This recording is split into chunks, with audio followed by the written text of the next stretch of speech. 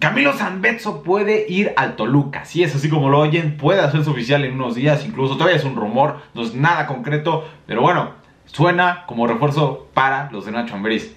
Yo siempre he creído que Camilo Zambetso ha sido de los mejores jugadores que han llegado a la Liga MX. Siento que es uno de los jugadores más infravalorados que hay en la Liga MX. No sé por qué no está jugando un equipo bastante grande y sería una gran oportunidad para él jugar en el Toluca.